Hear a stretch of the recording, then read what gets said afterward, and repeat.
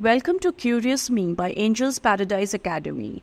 Today we are going to know how hot is the sun. We all realize that the sun is extremely hot. The temperature of its outermost surface is about 10,000 Fahrenheit, which is equal to 5,600 degrees Celsius. As we go deeper into the sun's layers, the temperature increases. The temperature also rises as we move from the sun's surface upwards into the solar atmosphere. But we are so far away from the sun that we are luckily not burnt by its rays.